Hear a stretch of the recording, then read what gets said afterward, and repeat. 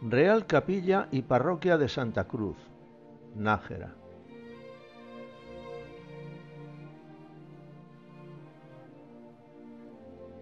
Los orígenes de esta iglesia parroquial se pierden en la Edad Media, habiendo ya datos sobre ella en el siglo X. Fue absorbida por el monasterio de Santa María, fundado por el rey don García Sánchez IV el de Nájera y su esposa doña Estefanía Berenguer de Foix, ocupando un espacio dentro del monasterio. Los conflictos multiseculares entre clérigos regulares y seculares motivaron que se prohibiera su vida en común, por lo que se determinó la construcción de una iglesia nueva fuera del monasterio. La autorización para esa construcción se dio en la bula emitida por el Papa Julio III en 1553. Mas la planificación para la construcción definitiva del templo se confirmó por otra bula dada en Roma en 1578 por Gregorio XIII, la cual llevaría a la consagración de la iglesia en 1611. La iglesia nos ofrece una planta de salón con tres naves de tres tramos a igual altura y un tenue crucero rematado por el ábside o cabecera. La construcción está realizada en piedra de sillería y sus dimensiones aproximadas son 18 metros de altura, 38 de ancha y 52 de larga. Las tareas de construcción comenzarían a partir de la bula del Papa Julio III dada en 1553. El templo fue inaugurado oficialmente en 1611. Ante los problemas que presenta la primera construcción, se encarga en 1682 que la recomponga a Juan de Raón, quien procede a reformar todo el interior del templo. A tal fin se transforman los pilares iniciales en octogonales y rehace la cubierta al gusto barroco. Elimina las crucerías y las sustituye por arcos de medio punto a los que dota de abundantes lunetos y aristas en escayola. En el vértice del arco Tudor que conforma el ábside aparece el escudo cuartelado con los emblemas de Castilla y León.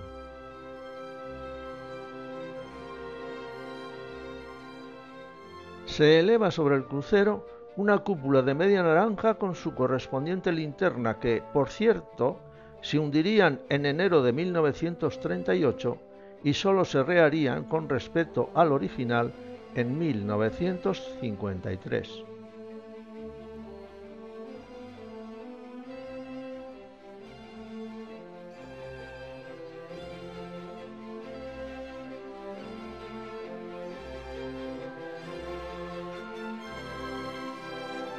El altar principal, dedicado a la Santa Cruz, lo forman elementos modernos de hacia 1960. En un modo de sobrio y grandioso retablo, este altar muestra en la calle central un gran Cristo crucificado.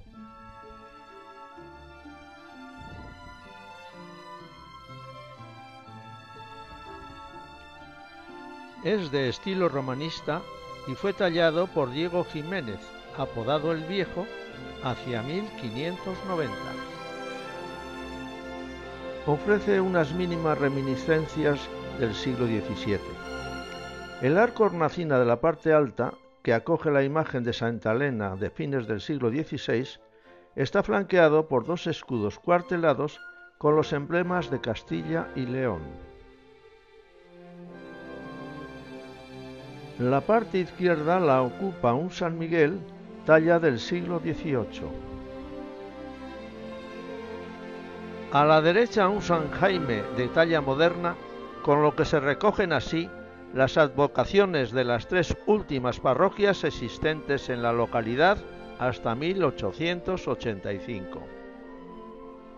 En la parte baja tenemos una imagen de la Virgen sedente con el niño. Es una imagen hispano-flamenca de finales del siglo XIV o principios del XV. Fue conocida en otros tiempos como la Virgen de la Aurora, título que se debe a la tradición que existió desde tiempos remotos de sacarla en procesión por las calles de Nájera en la madrugada de seis días seguidos, rezando el rosario de la aurora en torno a la fiesta de San Miguel. La parte baja del altar está decorada con esta maravillosa representación de la Sagrada Cena. Destacando en todo el conjunto, pese a su modernidad, este bello sagrario que remeda una catedral gótica. Conformando todo ello este armonioso conjunto.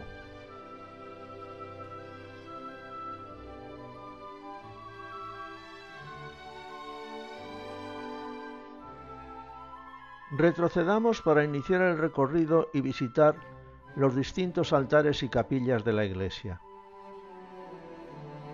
Capilla bautismal. Contiene en el contexto de su estructura moderna la pila de bautismos que construyera en 1656 Juan de Urquizar y sobre ella un lienzo del bautismo de Jesús.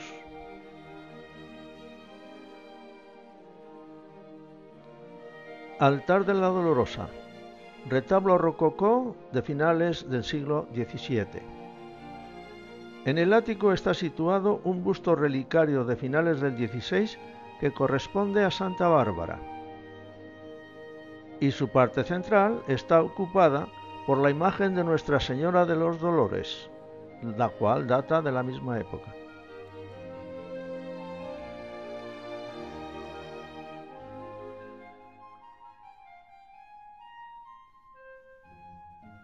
Capilla del Sagrado Corazón. El apostolado de la oración está muy extendido en la feligresía najerina.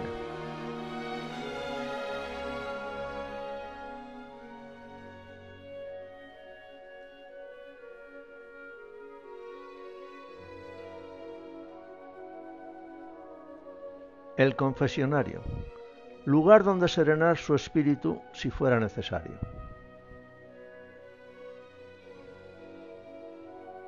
Capilla de San Prudencio de Armentia, obispo de Tarazona y patrono de Nájera. Está separada del templo por una verja del siglo XVII. En la pared frontal hay una gran imagen, el Santo Cristo del Consuelo o del Triunfo, talla de mediados del siglo XVI. Despierta una gran devoción entre los najerinos.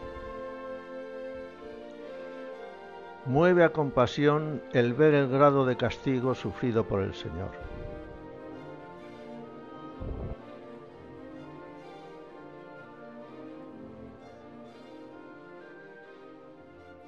A la izquierda cuenta con un pequeño retablo barroco de finales del siglo XVII, coronado por un ático en horno ocupado por una pintura de la Asunción o de la Inmaculada debida posiblemente a Francisco Salís.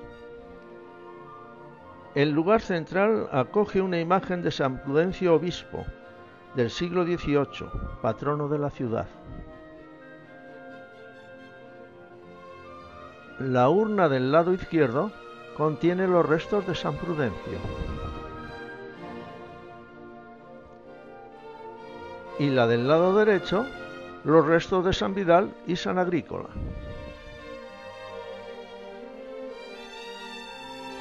Incrustados en el banco del retablo copias de dos pinturas flamencas del siglo XVII, David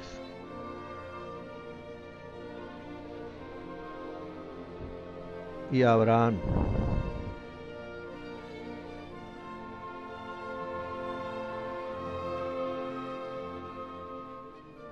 El lado de la derecha está ocupado por un mueble que contiene un gran número de reliquias. En primer lugar, tenemos tres arcas con las urnas de los santos mártires Juan, Ciro y Antígono. Son de madera con chapa de ébano y adornos de nácar, carey y hueso, con apliques fundidos en forma de angelotes y herrajes y cantoneras de protección. En una de ellas hay dos escenas de martirio pintadas sobre el nácar.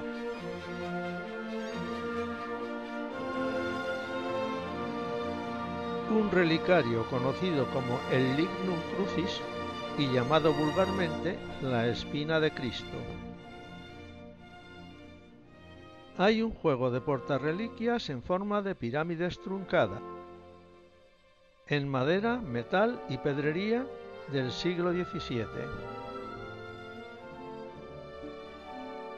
Contienen las reliquias de San Lauro, San Cristóforo, San Alejandro, San Eugenio, San Bonifacio y Santa Victoria, todos mártires.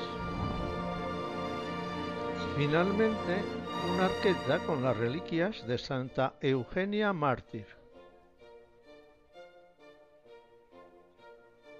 Altar de San José. Retablo de cartón piedra, al igual que la gran imagen que lo preside de San José con el niño en brazos. Es de finales del siglo XVIII.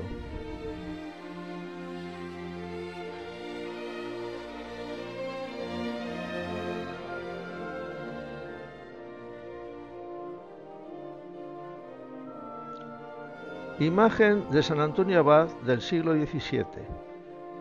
Es el San Antón de la denominación popular. Altar de San Pedro, en cartón piedra, de finales del siglo XVIII.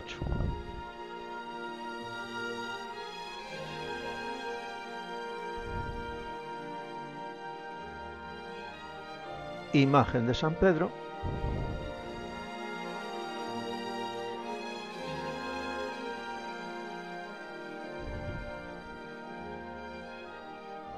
y bella imagen de la Virgen Milagrosa.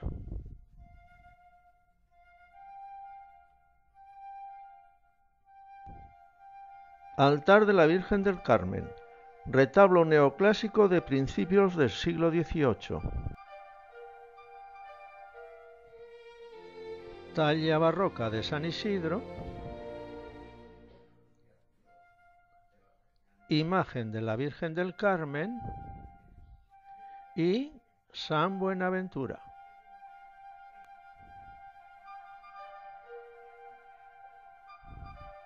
Santa Gertrudis,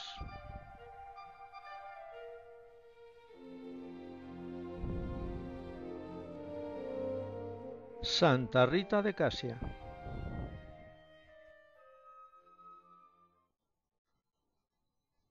Altar de la Inmaculada con una típica talla de la Purísima Concepción.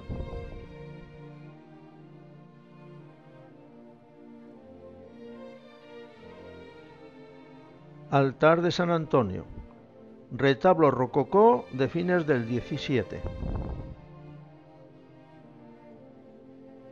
En el ático hay un busto relicario de principios del 17 perteneciente a San Nicasio y en el centro hay una imagen moderna del santo titular. Llegados al fondo de la iglesia, encontramos una vidriera moderna que representa a San Prudencio de Armentia, obispo de Zaragoza y Calahorra y patrono de la ciudad de Nájera, como ya se ha dicho. En el coro bajo hay una tosca sillería constituida por 31 sillas de nogal, fabricadas sin atractivos en el siglo XVII, con brazos y asientos lisos. Sobre la silla presidencial, una vidriera moderna muestra una sobria cruz.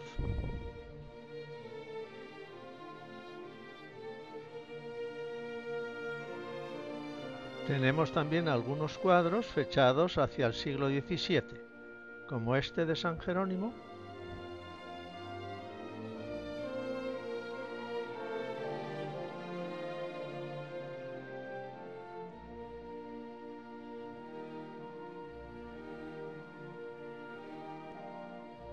Este otro del mismo San Jerónimo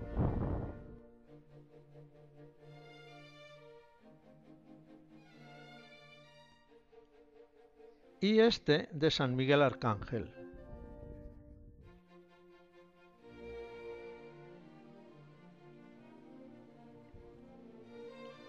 Vamos a contemplar ahora la capilla museo.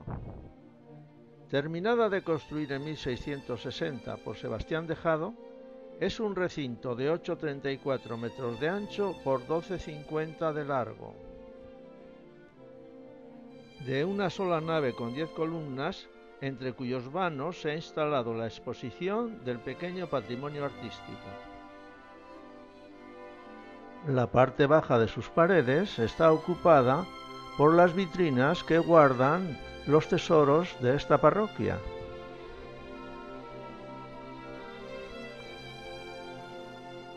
En el frente tenemos un hermoso Cristo gótico y el sagrario, ocupando la parte superior de las paredes una colección de lienzos que representan a diez apóstoles, con algunos de los más bellos y nobles rostros humanos pintados en todo el siglo XVII. Proceden de la escuela de Rivera, a quien gustaba escoger los modelos de sus cuadros de entre los cargadores del puerto de Nápoles. Tenemos en primer lugar a San Pablo, al que le siguen San Simón,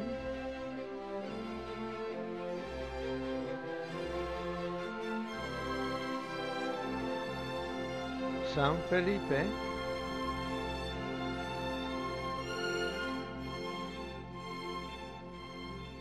San Bartolomé,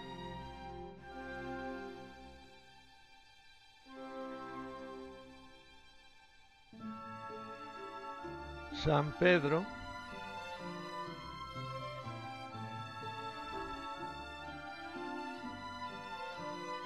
San Mateo,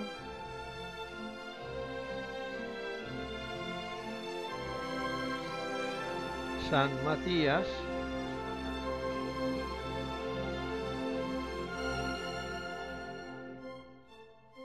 San Juan,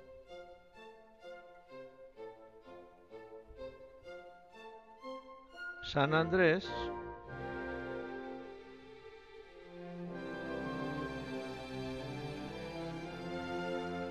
y Santo Tomás. Sobre la puerta de entrada, otro cuadro representando a Cristo en la cruz.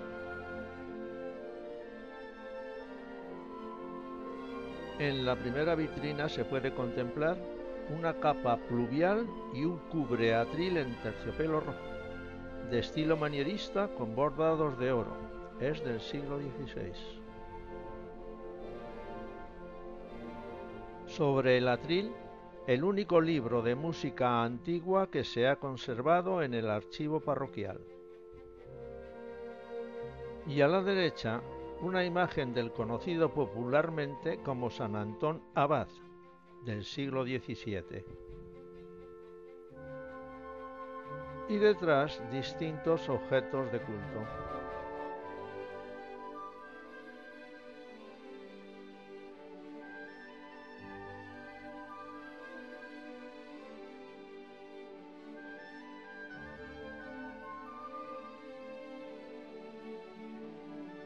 La segunda vitrina contiene un terno rojo, casulla, dos dalmáticas y estola que completan lo expuesto en la anterior. Se le denominó en un principio como el terno de Santa Eugenia y posteriormente de San Juan Mártir. Fue un obsequio a la parroquia de la infanta Isabel Clara Eugenia, hija de Felipe II. Sobre la pared están colocados los dos cuadros originales pintados sobre cobre. David con Saúl y Abraham con los ángeles. Son del siglo XVII de autores anónimos flamencos. La tercera vitrina contiene la talla de San José portando de la mano al niño Jesús. Y una imagen de la Virgen de las Candelas con niño.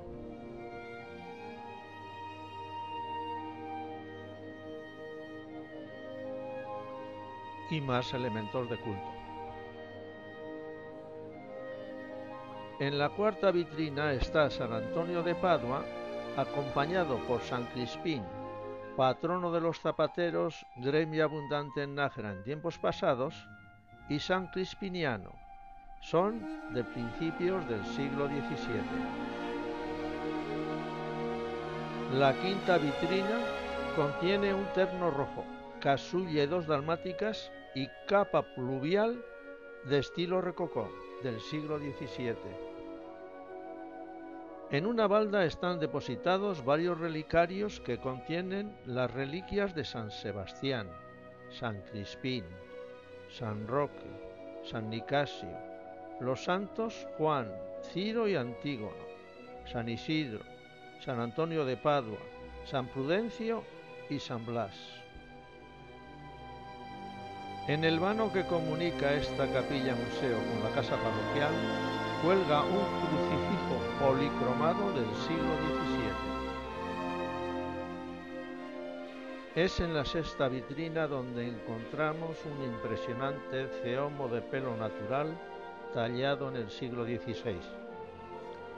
De cara severa, enjuta, de duras facciones, nariz larga, recta, boca entreabierta, barba partida, mirar dolorido y semblante de gran sufrimiento. Volvamos por un momento la vista al frente de esta capilla museo para saludar a la imagen de la Purísima Concepción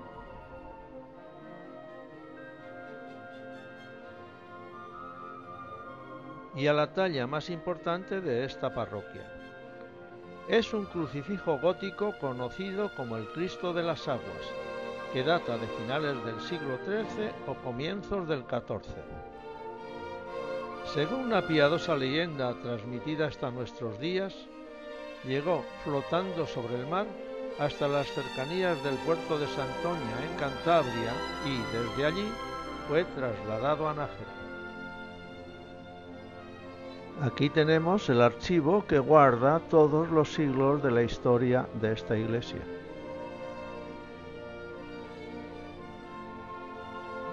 Pasemos a continuación a la sacristía.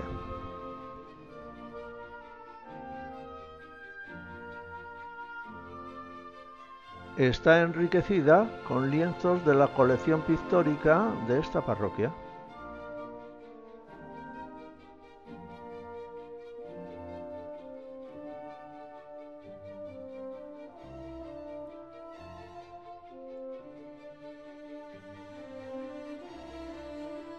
Sobre una de las modernas cajoneras hay una reproducción fotográfica en blanco y negro y en las medidas originales del tríptico La Piedad de Ambrosius Benson, pintura flamenca del siglo XVI, cuyo referente fue robado de este lugar la noche de Navidad de 1913. Una muy buena imagen de la maternidad de María.